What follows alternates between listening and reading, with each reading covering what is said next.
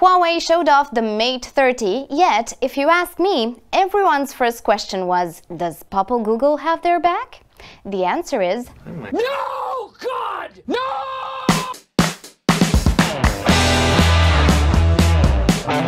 Hi, and welcome to Need to Know, the show where we go beyond specs to see what's in it for you. I'm Alina, and today we're gonna talk about two groundbreaking phones and gaming subscriptions. Are they a loss in disguise? Just as the buzz settled around iPhone 11, three other phones popped up. At least three. Huawei showed off the Mate 30, yet, if you ask me, everyone's first question was Does Papa Google have their back? The answer is no. The Google Play Store went MIA. But you're probably up to date with that phone. What's really interesting to me is what happened after that. Other two Chinese phone makers got ahead, making Huawei seem even more of a black sheep, at least in some people's eyes. OnePlus 7T came out with top specs and Android 10 out of the box. Yes, this phone was able to bring all the Android goodness. More than that, it's the first phone to come out with Android 10. Fellow YouTubers loved it instantly. I can relate. Why? First, the 90Hz buttery smooth display, then up to 1000 nits brightness the 855 Plus chip giving it greater speed, and a triple camera with super macro mode. Keep the macro mode in mind, we'll come back at it in just a bit. All this and more for about 600 bucks. A bargain, am I right? Not record-breaking though. Nope, that honor went to Xiaomi, the Apple of China. There's an interesting case. Xiaomi is maybe the only Chinese company with an ecosystem similar to Apple's. They're selling anything and everything TVs, speakers, air purifiers, even rice cookers and robots. Yeah, if you want transformer that's, uh, you know, more than a plastic toy, Xiaomi is your guy. Smartphone controlled and all, because of course they sell phones. Lots of phones, groundbreaking phones even. Not kidding. They just came out with Mi Mix Alpha, a phone with 180 screen to body ratio. What does that even mean? A surround screen. Exactly like the sound, only for display. Everything on the phone is display, except for the top and bottom. Those are made out of aerospace grade titanium. Light, but sturdy. This insane display was paired with a huge camera, 108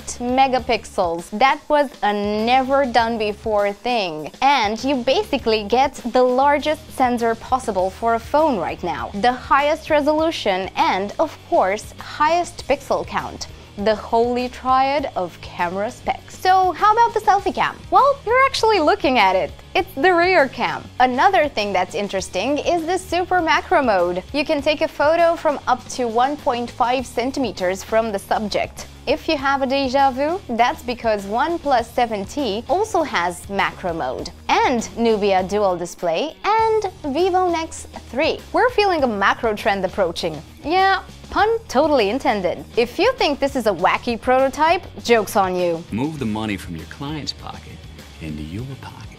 Xiaomi is gonna sell it. This December, in fact, for almost $3,000. What? I know, in their defense, the display tech is remarkable and the camera is really something. Plus, there's an in-display fingerprint scanner and sound coming from the display instead of the speakers. Oh, and also 40 watts charging. Will I buy it? I'm not crazy! Ah! Who will?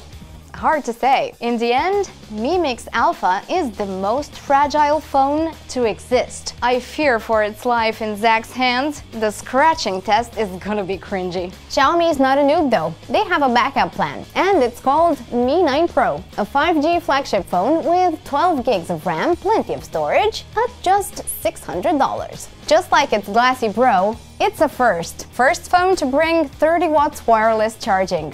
You can charge it from 0 to 100% in 69 minutes. No joke, with 5G support and 10 watts reverse charging, it's a phone to watch out for. All these launches did make me think about this addictive loop we're in. It started with cameras, let's make them bigger, better, not just for photos, also for videos. Now they can shoot 4K. Perfect! But the display is way too small to enjoy 4K content, so we make the display bigger. The notch comes in. But we don't want the notch. Screen to body ratios increase, but we want to take notes, send messages, live stream in the same time. Sorry, I was taking a selfie while shooting a Snapchat while periscoping that Snapchat. One display is not enough. Make two. Or a foldable phone, maybe. Or maybe a surround screen. Is it getting out of control? Who's winning the more we get annoyed? Now, gaming subscriptions. Mobile ads and in-app purchases are driving all of us mad. What can mobile makers do to put us out of our misery? Zero ads, zero microtransactions, zero timers. Basically, fixing things the game developers broke in the past years. Hello, Apple Arcade and Google Play Pass. Seems ideal. Both services cost just $5 a month. Apple Arcade offers the first month free, Google the first 10 days free, plus the first year at just $2 per month if you subscribe until the 10th of October. The Apple Arcade subscription comes with semi-exclusive titles. You can't find them on Android stores. You can't even buy them on the App Store. Google Play doesn't have exclusivities. They do have, however, over 350 games and apps. You'll get things like Facetune and Star Wars Knights of the Old Republic with $5 a month, no hidden fees, but you'll still find Google Play Pass content on iOS and to buy individually on Play Store. Apple Arcade games will play offline, but you might need internet to use Apple TV. You'll even get to attach Xbox One and PS4 controllers. Both services can be shared with up to five people or even a cat. But while Apple Arcade is available all over the world, Google Play Pass runs for now just in the US. Did you just open your phone to get your subscription? I don't blame you. Shut up and take my money. Just do me a favor and think about what you're paying for. In Apple Arcade, for games that you might like or not, no way to tell, they're all new. In Google Play Pass, old games and apps with something new, here and there, uh, that developers can always abandon. Yes, developers can opt out of Google Play Pass anytime. Oh, and they're paid royalties on the amount of time spent in the game. So, you might get addictive loops with infinite gameplay but no outstanding story. Plus, at the end of the day, it's another subscription. It pays off if you spend time daily using it. You don't? Then is it really a win or a loss in disguise? Until next time, you tell us. Are you gonna subscribe to Apple Arcade or Google Play Pass? Or maybe take the lead, we're free. And don't forget to hit the bell button if you want to see more videos like this. Oh, and how about some sweetness overload?